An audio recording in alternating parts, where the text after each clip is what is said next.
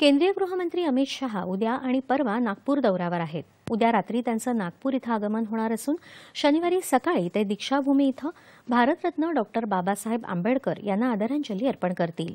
रेशीमबाग इथं डॉक्टर हेडगेवार आणि गोळवलकर गुरुजी यांच्या समाधीस्थळावर ते पुष्पांजली अर्पण करणार आहेत.